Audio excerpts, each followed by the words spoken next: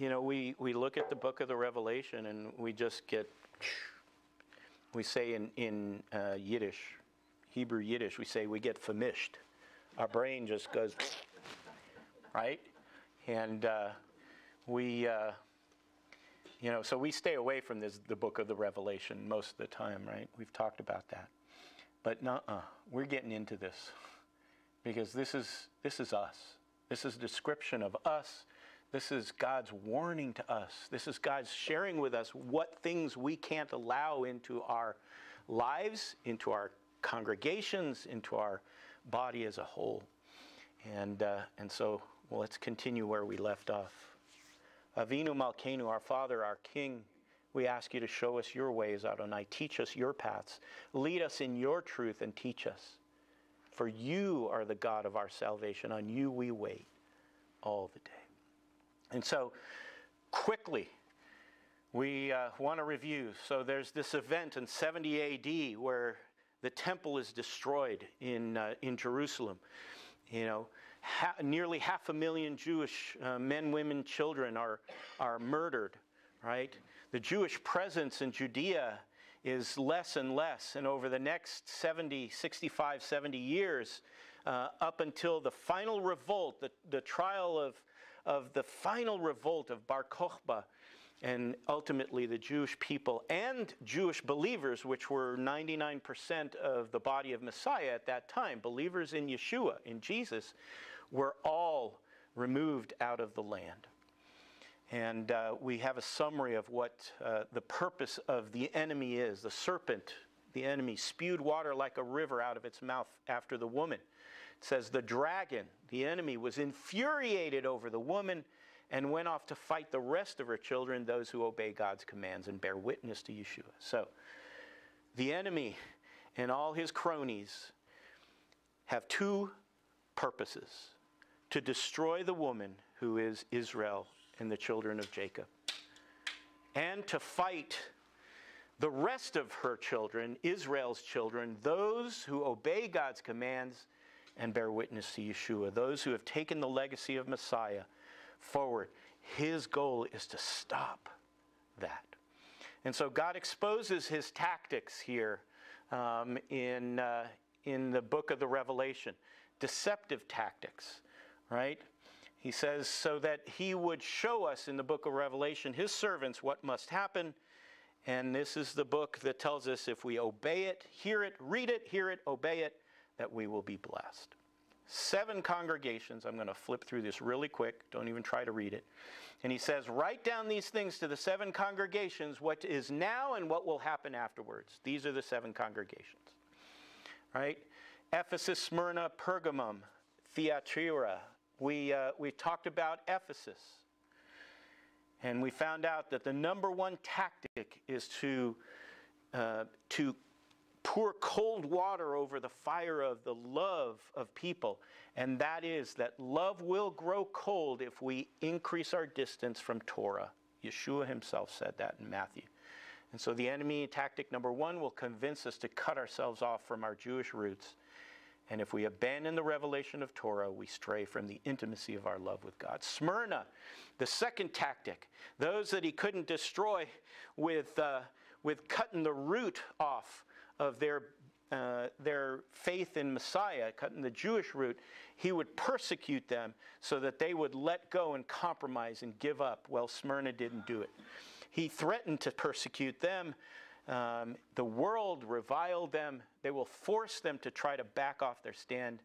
They didn't do it. And they defeated him because of the blood of the Lamb and because of the message of their witness. Even when facing death, they did not cling to life. And then that brings us to Pergamos, uh, Pergamum, where we've uh, sort of uh, stationed ourselves for the last couple of weeks. And uh, the word pergamos means a perverted marriage, a mixed marriage. And uh, he admonished the, the congregation at Pergamum to bear the name Hashem. Hashem.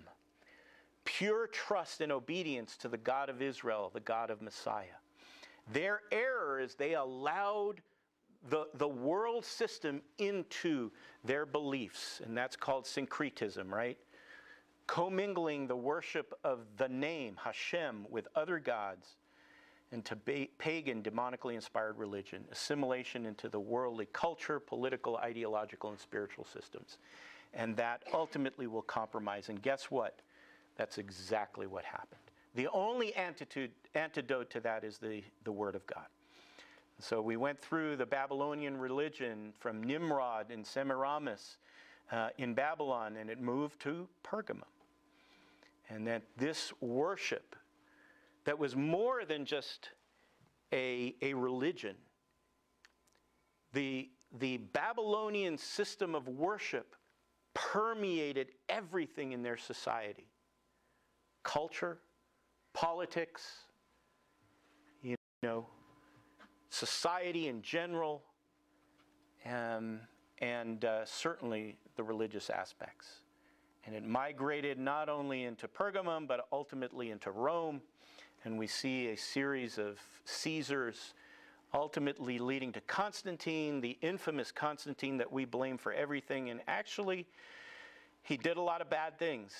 He somehow reinterpreted the Bible and changed days and times and said, instead of Shabbat, we go to Sunday, right? Why? Because everybody else is worshiping on Sunday. It is the, why is Sunday called Sunday? It's the day of worshiping the sun god, right?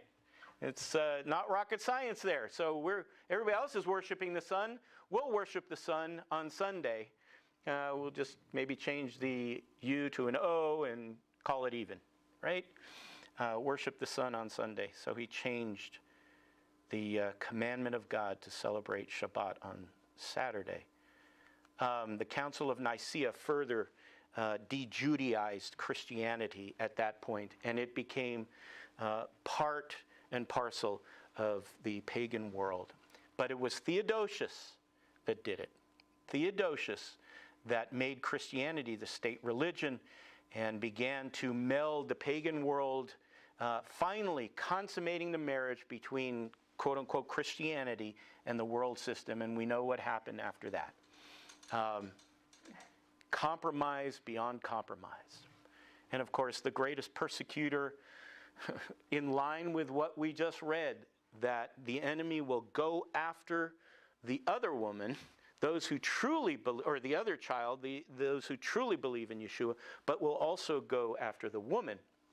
And for the last 2,000 years, up until just this century, the greatest persecutor of the Jewish people was those who called themselves Christians that we're no more Christians than I am a man on the moon, right? The man on the moon.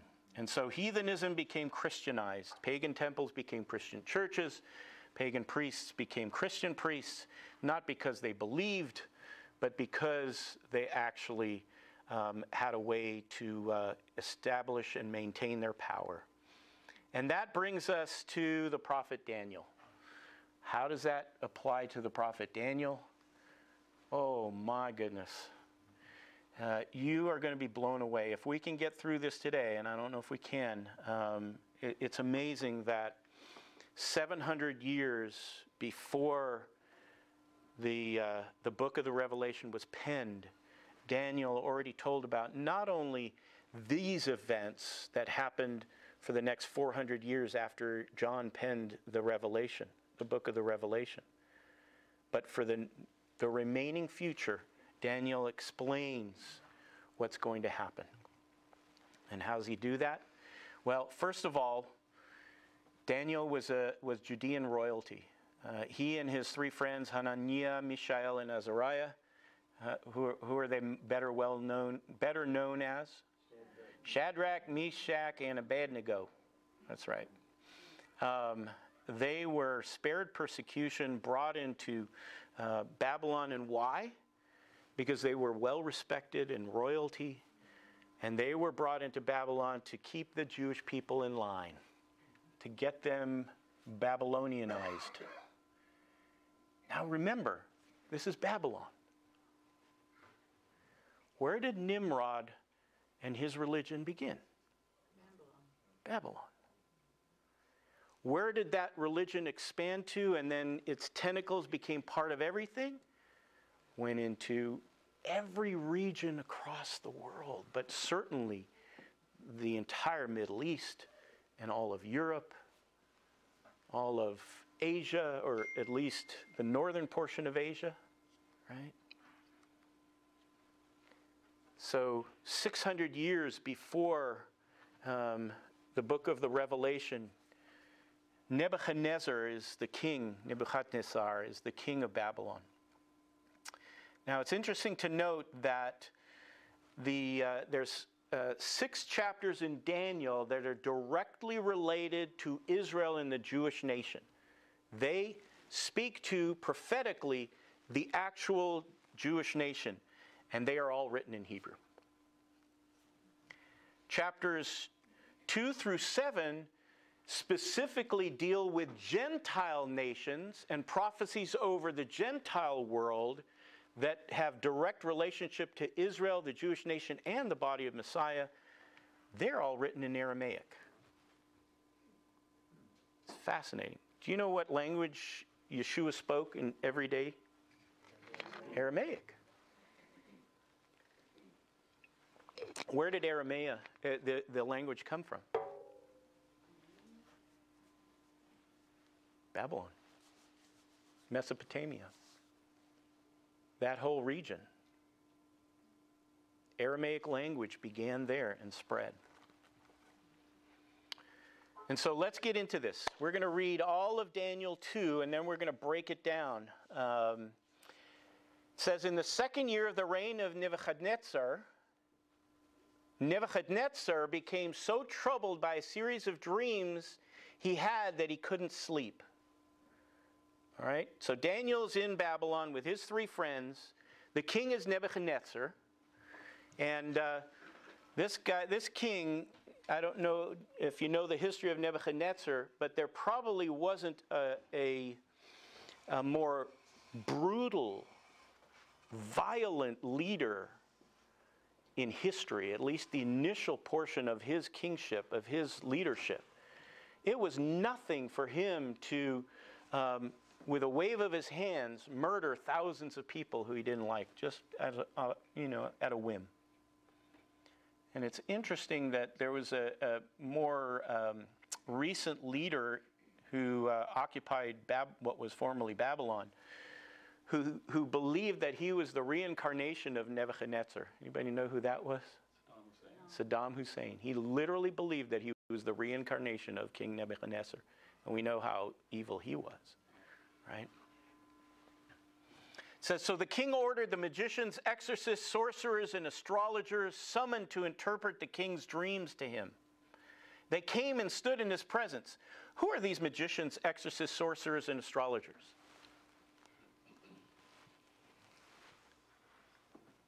Religious. Absolutely. These are the high priests of the Babylonian religion.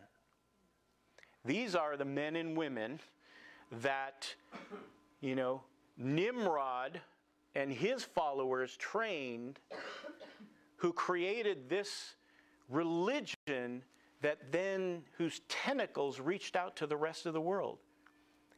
And it actually informed Egyptian mythology, Greek mythology, Roman mythology, led to the birth of, as we said, the, the lineage of Caesars being the high priest and the king, and ultimately Constantine, who became the king priest, the leader over the Christian church, and the following leaders after him. And we talked about it last week.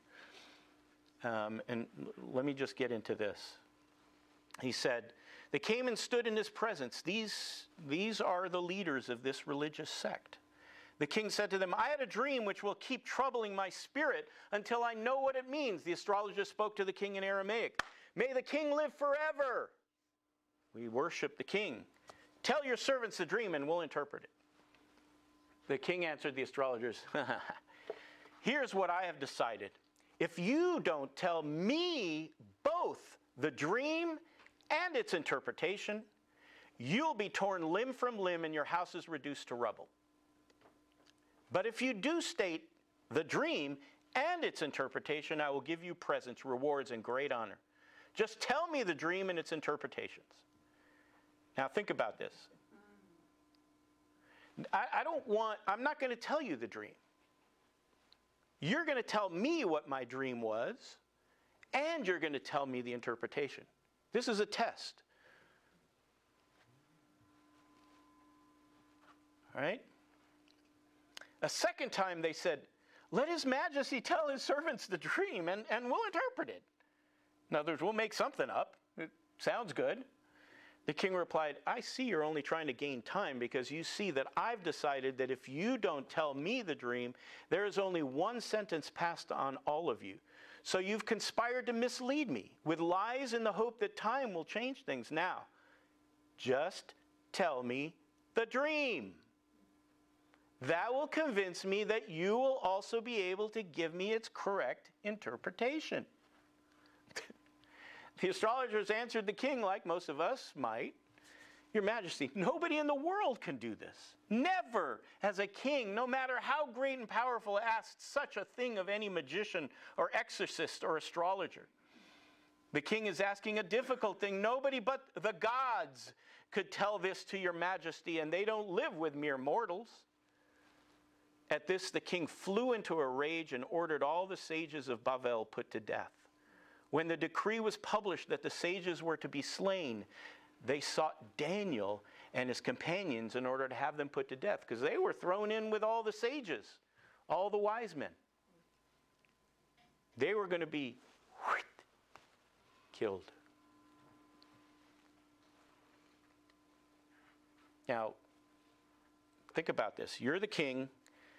You've got one chance to get your dreams interpreted, and you're going to kill the people that you believe have the ability to interpret your dream. He may have been evil, but he's not too smart. He said, Then, choosing his words carefully, Daniel consulted Arioch. Arioch was Nebuchadnezzar's henchman. He's the one that carried out all his orders to kill people. He was the, uh, the Goebbels, um, you know, the, of, uh, of that time, the one who uh, carried out whatever evil his master told him to do. He said, Daniel said to Arioch, Since you are the king's official, let me ask, why has the king issued such a harsh decree? Daniel wasn't among those uh, Babylonian religious men who came before the king. Arioch explained the matter to Daniel. Then Daniel went in and asked the king to give him time to tell the king the interpretation. Daniel went home and made the matter known to Hananiah, Mishael, and Azariah, his companions, so that they could ask the God of heaven for mercy concerning the secret, and thus save Daniel and his companions from dying along with the other sages of Babel. Then what happens? The secret was revealed to Daniel in a vision at night, and Daniel blessed the God of heaven in these words. So we, we get a glimpse into who Daniel was.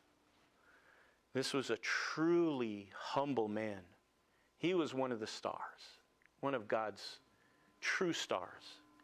He said, Blessed be the name of God from eternity past to eternity future, for wisdom and power are His alone. He brings the changes of seasons and times. He installs and deposes kings. He gives wisdom to the wise and knowledge to those with discernment. He reveals deep and secret things. He knows what lies in the darkness, and light dwells with him. I thank and praise you, God of my ancestors, for giving me wisdom and power and revealing to me what we wanted from you for giving us the answer for the king. So Daniel went to see Arioch Yo, Arioch, I got, uh, I got some good news. So Arioch, whom the king had charged with destroying the sages of Babylon, said to him, Don't destroy the sages of Babel. Daniel, I mean, that's what I might have thought of saying is, okay, destroy all of them, but not us, right? He said, No, don't destroy them. Bring me before the king, and I will give the king the interpretation. Quickly, Arioch brought Daniel before the king and told him, I have found one of the exiles of Yehuda who will reveal the interpretation to his majesty. The king said to Daniel, who had been named in, uh, in the Babylonian uh, circles, Belteshazzar. Can you tell me what I dreamt and what it means? Daniel answered the king, No sage, no exorcist, no magician or astrologer can tell his majesty the secret he's asked about. But there is a God in heaven who unlocks mysteries. And he has revealed to King Nebuchadnezzar what will happen in the Acharit Hayamim, the Hebrew phrase for the latter days. Think about this 600 years before Yeshua came, 700 years before Yochanan wrote his book, 2,600 years ago, God gives this evil king a dream and tells him what's going to happen in the last days or in the latter days. Here are your dream and the visions you had in your head when you were in bed. You ready? Your Majesty, when you were in bed, you began thinking about what would take place in the future. And he who reveals secrets has revealed to you what will happen. He says it again, just in case we who are reading this 2,600 years later have missed the point. This is about what's going to happen in the future. Yet this secret has not been revealed to me because I am wiser than anyone living, but so that the meaning can be made known to your majesty, and then you can understand the thoughts of your own mind. Why else is it revealed to Daniel? Why did this happen? Why did God choose to put this in the scripture? And why is Daniel probably the most important book of the Bible? And Daniel is the most important book by which we can even think about interpreting the book of the Revelation. Scripture interprets Scripture. If you want to understand the book of the Revelation, you have to understand the book of Daniel. And that's why what we are reading in the book of Revelation from this point on, and even what we've already read, will begin making even more sense as we unpack what is going on in Daniel 2.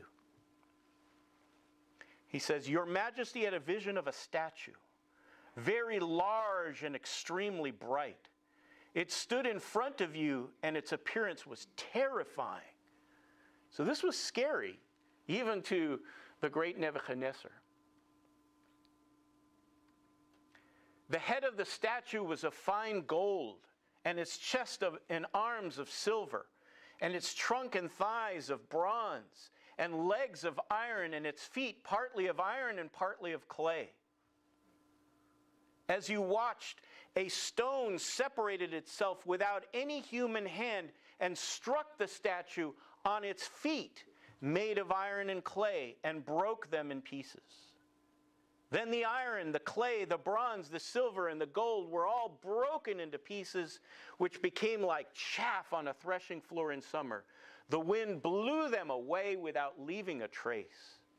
But the stone which had struck the statue grew into a huge mountain that filled the whole earth. That is what you dreamt. And now we will give the king its interpretation. Can you imagine? Daniel had the vision, the same exact vision of what Nebuchadnezzar did. Now, can you, can you imagine what Nebuchadnezzar is thinking? right? Oh, holy Nimrod. What's happening?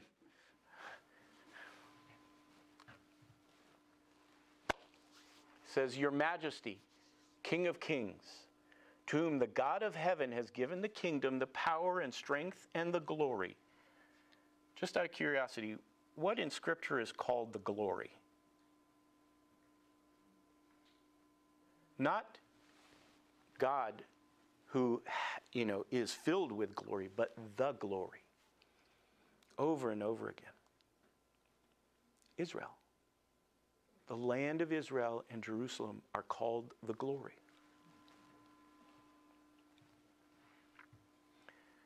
So that wherever people, wild animals, or birds in the air live, you'll, you'll, that'll make sense in a minute. He has handed them over to you and enabled you to rule them all you are the head of gold. But after you, another kingdom will rise, inferior to you. Then a third kingdom of bronze, which will rule the whole world.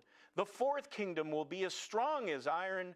Iron can break anything into pieces, pulverize it, and crush it.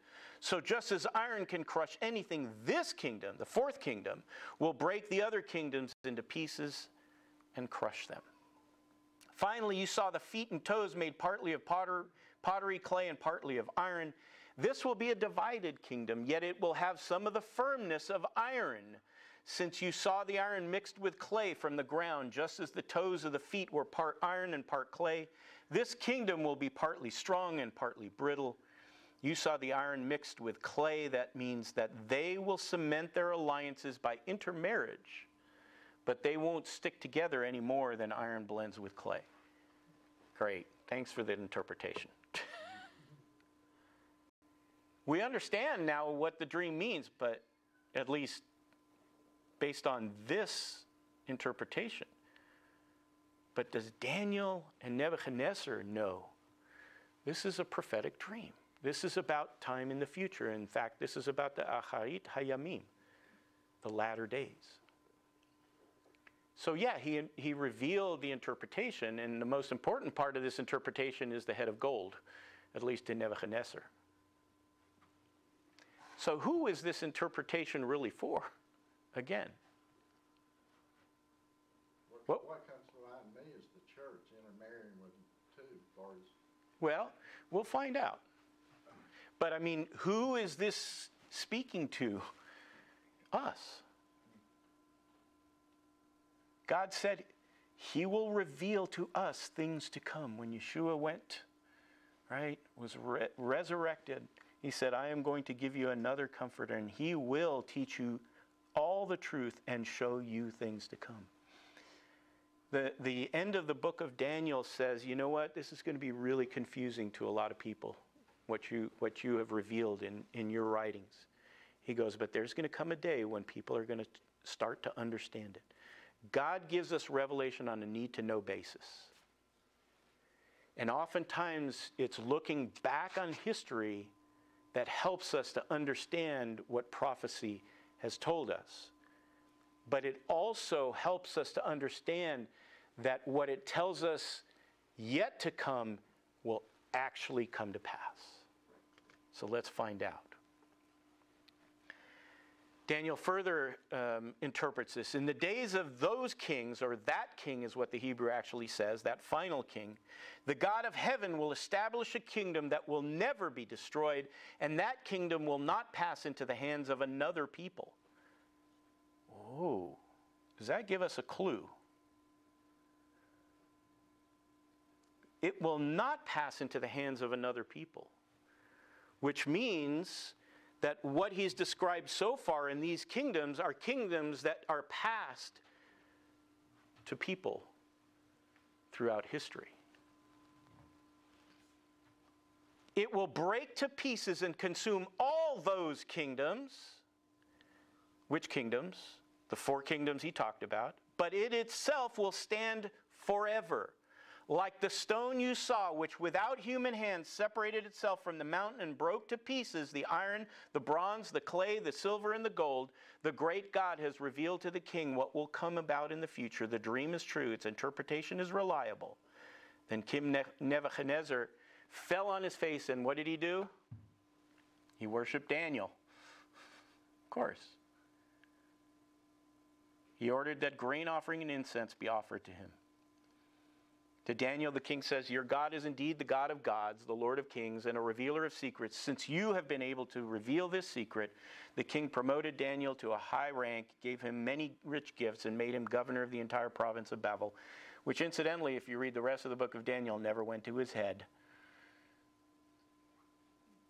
At Daniel's request, the king put Shadrach, Meshach, and Abednego in charge of the affairs of the province of what? Babel, Babylon. So, history tells us that it's about this time that these priests and this religious sect moved where? Moved from Babylon to Pergamum, which is the where we have uh, have stopped for the moment in the book of the Revelation. Fascinating how Scripture helps us to interpret Scripture. So, this head of gold, your majesty, King of kings, to whom the God of heaven has given the kingdom, the power, the strength, this is clearly the Babylonian Empire. And why does God begin with the Babylonian Empire? He doesn't talk about Egypt. He doesn't talk about Assyria, powerful before um, Babylon. He's talking about Babylon first in this vision. The primary kingdom that starts it all, that begins whatever he's about to explain to us, is the kingdom of Babylon, where this religion began back in the days of Nimrod. The next kingdom. Who conquered Babylon? Not too long later. The Medo Persian Empire and King Cyrus. Remember that? How many of you remember your history books? Just a, a few decades later, the Medo Persians came in and completely uh, conquered. Now, the Medo Persians were, were kind of soft leaders, they weren't as, as harsh as the Babylonian kings. They kind of let people do their own thing, but they were still in charge and conquered a huge area. These are the chests and arms of silver. But what does it say? Inferior to you.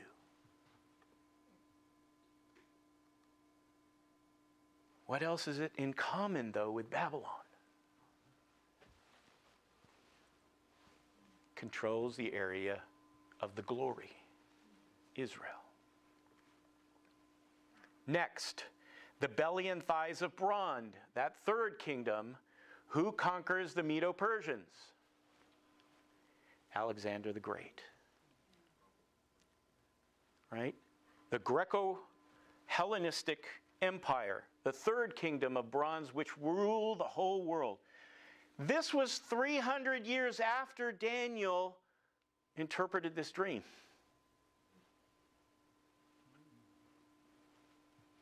And they spread into more into Europe and more into Africa, took over Egypt. Remember then, after Alexander the Great died, there were four kings, and where do we get the story after that? Is the story of Hanukkah, right?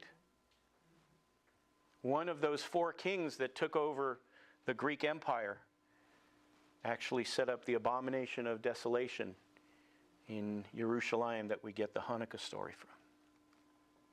Again, this is another kingdom, another reign that rules over the area of the glory. And then we come to this fourth kingdom. And let's look a little more in detail into this fourth kingdom. It'll be as strong as iron. Iron can break anything into pieces, pulverize it, and crush it. So, just as iron can crush anything, this kingdom will break the other kingdoms into pieces and crush them. Who do you think he's talking about? Who conquers the Greeks? Yeah, the Roman Empire. Whew. Talk about an empire that actually did this. Finally, you saw the feet and toes made partly of pottery, clay, and partly of iron. This will be a divided kingdom, yet it will have some of the firmness of iron, since you saw the iron mixed with clay from the ground. This is fascinating. What does clay have to do with anything? Where did clay come from? It just appears, right?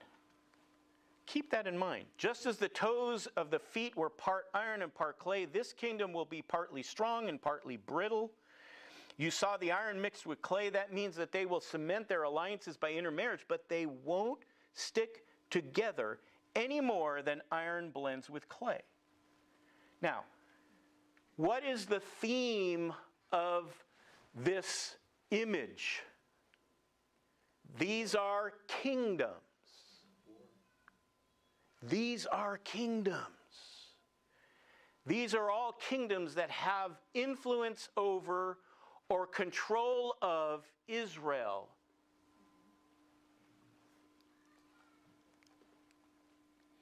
So this fourth kingdom will be as strong as iron. Now, the first image of this kingdom coming out of the Greek um, waste of gold and of iron is two legs, not a single leg. So be careful how we interpret this. When it says that the final one, the clay and the feet, will be two separate, these seem to be two separate arms, if you will, of the same kingdom. And it's of iron. And this, this word, malku, in the Aramaic is dominion or reign. So it's not just a, a country, a nation, or a king. It is an, it is an expansive dominion. And, and this word dominion is more than just a political entity or a military entity. That word dominion in the Aramaic actually in, you know, informs everything that it controls its cultural, political, economic, and religious systems. And those words in the, in the Aramaic, pulverize and crush it, actually means to subdue, to control the people who live in those regions. And you saw the feet and toes made partly of pottery clay and partly of iron. This will be a divided kingdom. So he doesn't call it a divided kingdom until we get to the feet of clay and iron. Yet it will have some of the firmness of iron since you saw the iron mixed with clay from the ground. Wait, where did the clay come from? Ah. But it's we're still talking about kingdoms. So the body continues on down to the feet, but then something appears from the ground and intermixes with the feet. Let me, let me tell you something. God does not put anything in Scripture unless it's supposed to be there. Details. The word kingdom is the Aramaic word malku. Again, we talked about that. A dominion reign is, is more than just a, a political entity or a national entity. This is a control over. That word divided is the Aramaic word pelag, which literally means to be different. These are two different entities. This last, whatever it is, manifestation. Part will be have the firmness of iron, have the, the strength, literally, the, the control of iron. Am I making you think? You, I see a lot of faces that are like, what? What are you trying to say? We'll get there. Just as the toes of the feet were part iron and part clay, this kingdom will be partly strong and partly brittle. Partly in Aramaic means is the, the phrase min katsat, from a little. So it'll be from a little powerful and from a little fragile. So, what is this? You saw the iron mixed with clay. That means that they will cement their alliances by intermarriages. Very poor translation, I'll show you. But they won't stick together any more than iron blends with clay. Cement alliances is the word Arab, Arab, just coincidence, seriously. The mingle, occupy, traffic, metal. In other words, they will be um, you know, um, what's the word? Embedded is probably a better word. Cement their alliances. They will be embedded together. For this word intermarriages is actually the word zira, which means the seed or posterity. future generations. Think about this. They will mingle, they will embed themselves throughout future generations, but they won't stick together any more than iron blends with clay. Stick together is the word adhere or cling. All right.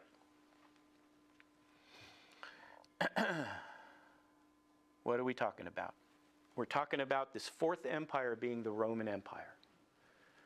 If we're looking at history in succession, the Roman Empire conquers the Greek and expands the territory, expands the control, and literally is just that. It's like iron. But also remember, it continues on as two sort of separate entities one whose capital is in Rome, and the other whose capital is in Constantinople. Right? So it grows out of one into two legs and continues into the feet. So the Roman Empire crushed and subdued its enemies, was the strongest and had the longest reigning control of all the political, cultural, and economic structures of the, own world, uh, the known world. And what do we know also? That it had complete control over Israel at the time of Messiah and afterwards.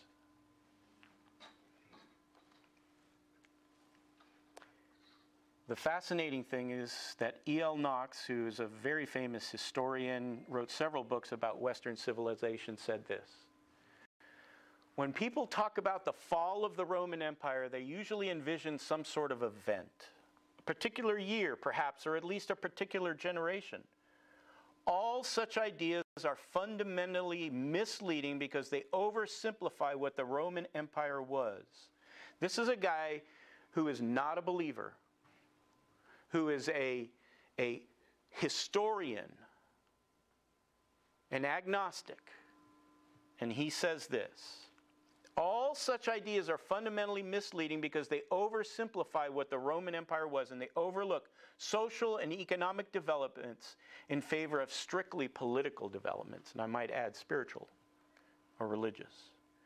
The very notion of a fall implies that something was standing and that this something was a cohesive entity. In fact, Rome was always a patchwork held together only at the very top. He even says it's held together only at the very top. What did we talk about two weeks ago? Who is the God of this world system? And again, I am not a conspiracy theorist. I'm not a, you know, I'm just somebody who loves the Bible and, and tries to take what's in there and share its truth. There are systems that control this world system, and those systems occur in realms that we don't even know. He goes on to say a different way of considering matters is to leave aside entirely the idea of a fall and to talk instead about the transition from the ancient world to the medieval world. Throughout this period and well beyond, there was something called the Roman Empire. Its capital was in Constantinople, but it regarded itself as Roman. By 800, there was uh, even a Roman emperor again in the West. Thinking in terms of the fall of the Roman Empire conceals the fact that these centuries were not about the ending of a civilization, but of its transformation into something new. Don't think in terms of rise and fall, but of rebirth. So, Let's kind of wind down. What unifies these kingdoms? These four kingdoms. They are all Gentile kingdoms which have, at one point or another, controlled the glory, the Holy Land. But they all, at one point or another, have attempted to eradicate or assimilate the Jewish people since the time of Daniel. Now remember our scripture from Revelation. The first, Babylon. The second, the Medo Persians. Who was, uh, who was the, the book of Esther about? The Persians. Who was the famous guy that tried to annihilate the Jewish people, right? Haman. You're supposed to go, yeah, thank you. All right, some of you caught that pretty quick. The third, the Greek Hellenists. Who was part of the Greek Hellenists was uh, the, the famous, you know, king that set himself up as being God in the Hanukkah story. The fourth, the Roman Empire. We know what the Roman Empire did to Jerusalem, to the Jewish people. And then this final phase, this mixed kingdom of iron and clay. We know that the iron, which makes up the legs, represents the extension of the Roman Empire, right? What does the clay represent? Talk about that some other time. It is, this image is of a single body. So something unifies it in, this, in an important way. But the fact is, is that if you look through history, as soon as things changed, persecution not only was focused on the Jewish people, but on true believers as well through this empire. What it couldn't do to the Jewish people, it accomplished with what was then the beginning of the body of Messiah. The image is of a human made up of different types of earthly substances, indicating a worldly origin. The body, which is a contiguous object, it indicates that each subsequent phase is a metamorphosis of the prior one. It's just a continuing, right? Every one of these phases inform the next.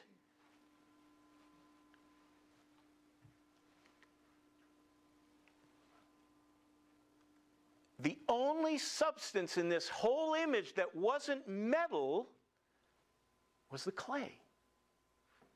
Everything else was a metal. Think about that gold, silver, bronze, iron. And then comes clay. The only realm or reign that does not come out of the others is the clay. It appears alongside the iron. Now,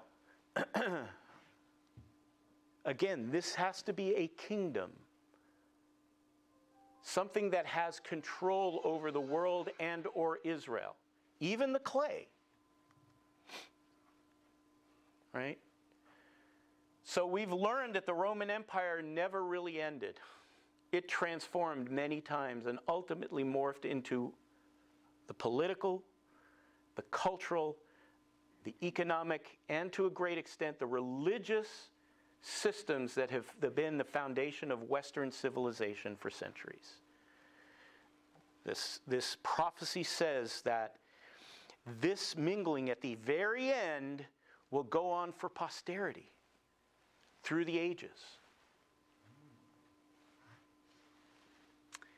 So today's modern Western world is essentially the Roman Empire mingling with the seed of men or better translated, occupying throughout future generations. Right? There is also another quite distinct culture that has established itself in the Middle East that did not come out of the metal. and its roots date back several thousand years. And in fact, much of its belief systems take themselves from the old Babylonian system as well, but completely different in its manifestation. And we know that it was about 600 that the, um, the what was called then the church, which was really a political entity, was at its probably height. About that same time, another entity began. And what was that entity? Islam.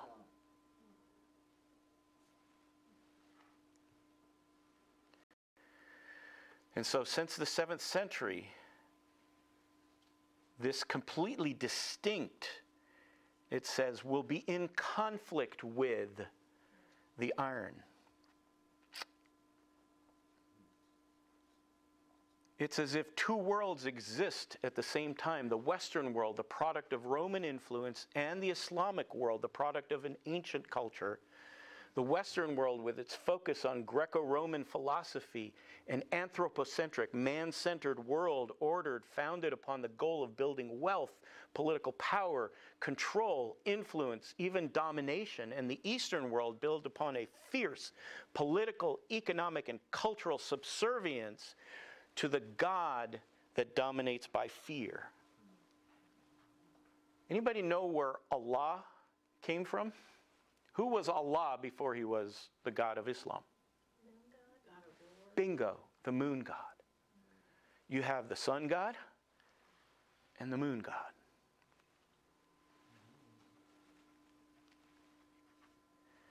These two empires, these two dominions have not, cannot, and will never commingle in any meaningful way. The clay and the iron cannot commingle. And in fact, the roots of jihad and the holy war that is in manifestation, even as we speak today, are results of the impossibility of these two kingdoms, these two reigns, to commingle and the absolute commitment of the clay to attempt to dominate and destroy the iron, and especially to take back control of Jerusalem. So, this fourth kingdom has a unified phase, the original Roman Empire. The unified phase had two legs Rome and Constantinople. The empire broke into many different nations, but its influence continued. The final phase, and why do I say the final phase? Because it's the final manifestation down at the feet. In the Acharit Hayamim will be two very different types of entities, the clay and the iron. These final empires will have influence throughout posterity to the end of the age. The iron from the original rule carried down from the legs the clay from a different origin, and the two types will never truly mix. And what will happen at the end? Remember the stone? Where does the stone destroy the image? At its final manifestation. And what again unifies this is, you know, what, what the historian said is ruled from above, that started in Babylon.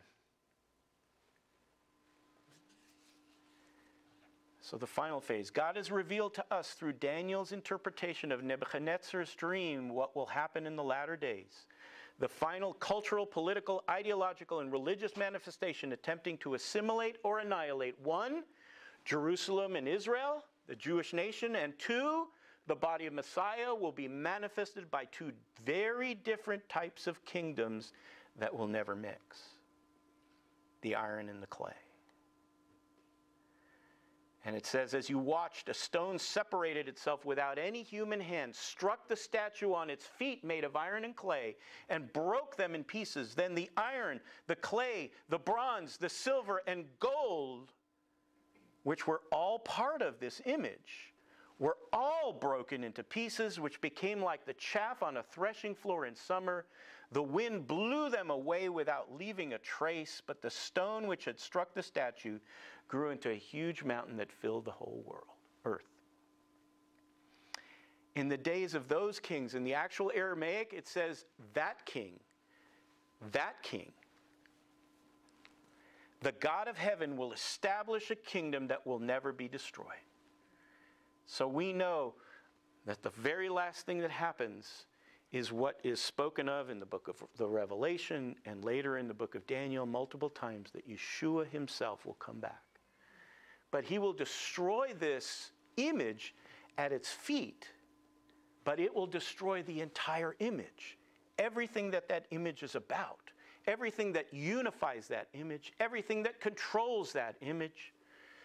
And it says, it will break to pieces and consume all those kingdoms, but it itself will stand forever. Like the stone you saw, which without human hands separated itself from the mountain and broke to pieces the iron, the bronze, the clay, the silver, and the gold, the great God has revealed to the king what will come about in the future. The dream is true, and its interpretation is reliable. So the stone is the only character in this dream, right? That does not belong to any of the others. It is completely separate and it is cut without hands, which means that it's not of human origin. The purpose of the stone was to destroy the image. The stone struck the image, as we said, at its feet. Whatever held the image together was destroyed by striking its final form. And after the image was destroyed, what? No trace was even found. Eradicated. And whatever the stone was filled the earth and became the final forever. Right? Who is the stone?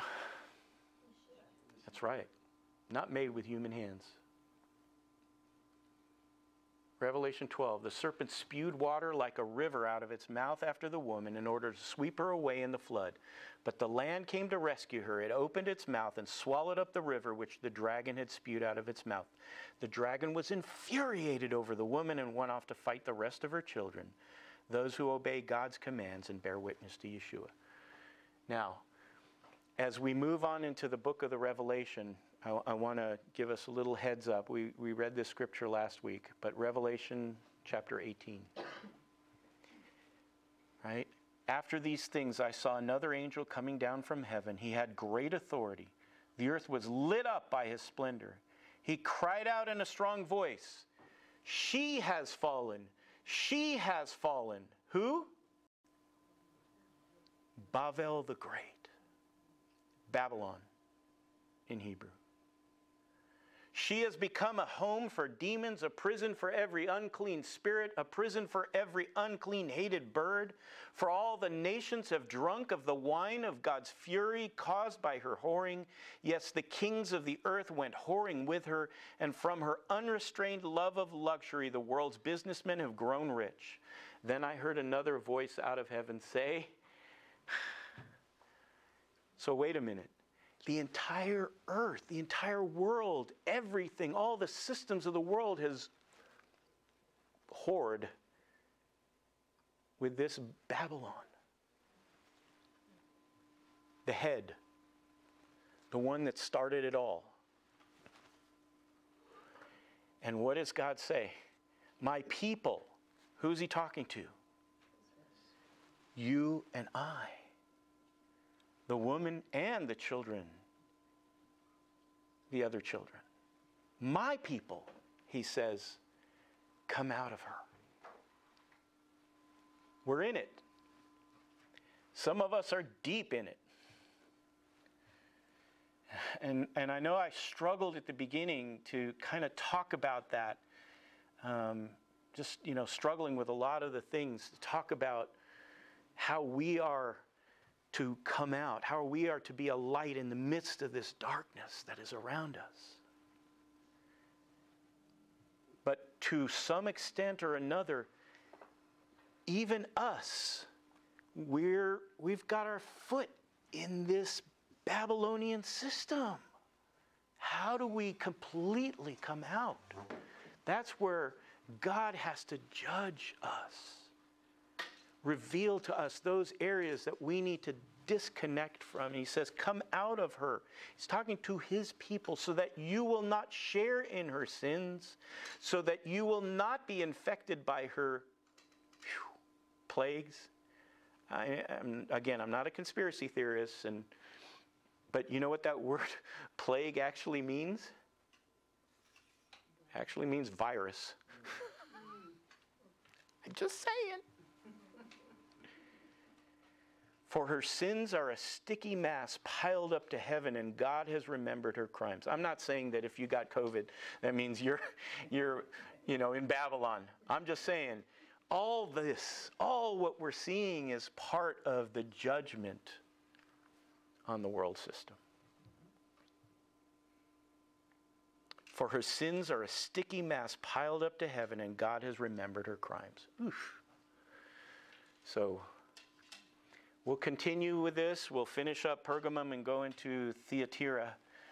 Um, does this kind of bring everything together in a way that it's just remarkable how Especially God. If you ever been to Istanbul, Turkey, and been in Constantine's palace, I have.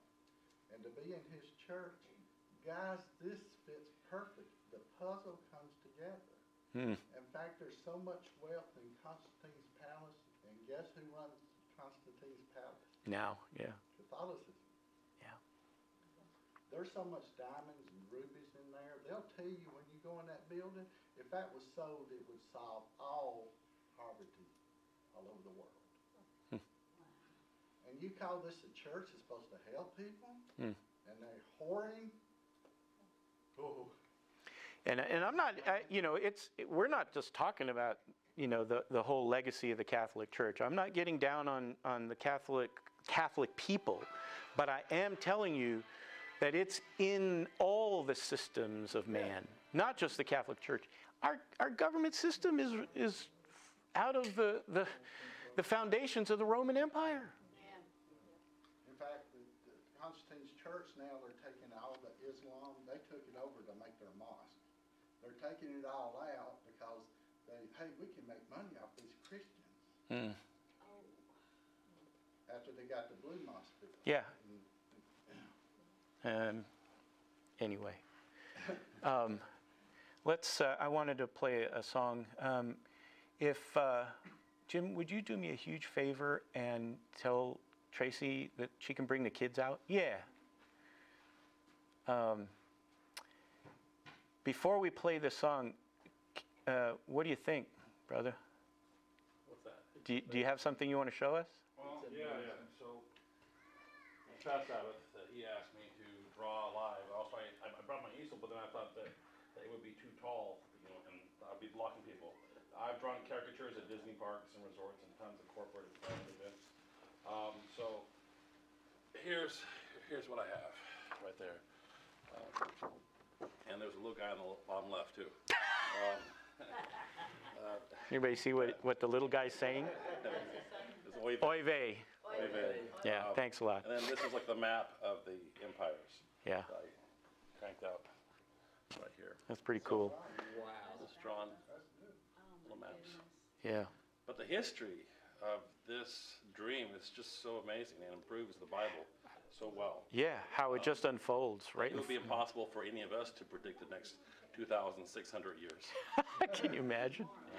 Yeah. So that's where. Isn't he talented? My goodness. Just amazing. Yeah. Um, so I, I, yeah, I really, every once in a while as the Lord leads, I'm just going to ask him to do something like that. And, and we'll, I'm going to take a picture and put it on our website and so forth. But um, as we wind down, I want to play a song. It's in Hebrew, it's sung in Hebrew. Um, but there is English subtitles, and it's Shilo Ben Hod, and you guys know Shilo Ben Hod. I played his videos before. Just a beautiful Israeli believer in Messiah, believer in Jesus, but Israeli and Jewish to the core, and uh, a beautiful voice. And uh, he and his wife and his children, his two children, are actually in this video. In fact, that's one of his children right there. Um, but let's uh, let's watch this. We can turn it up a little.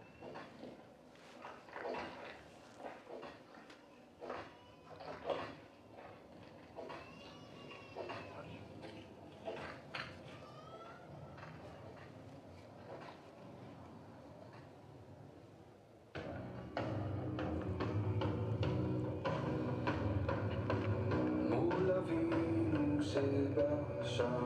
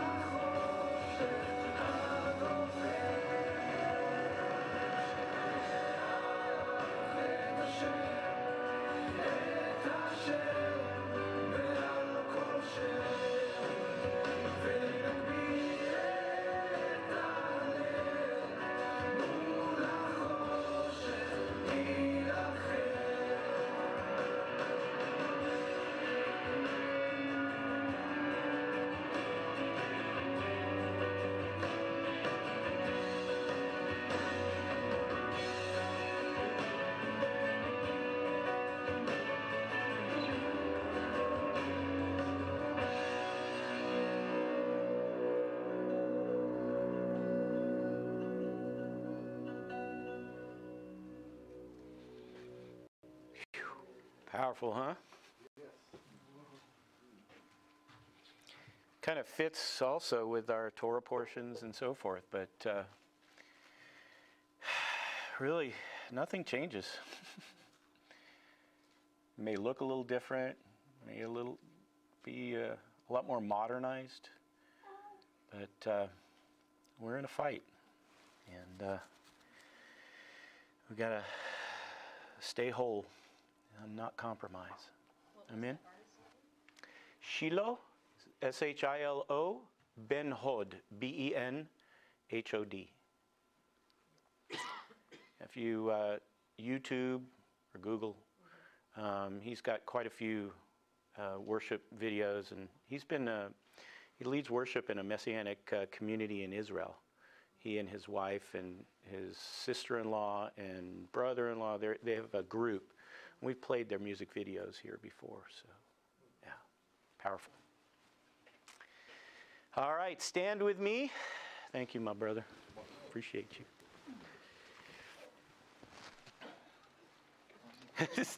Stand if you can. You all right?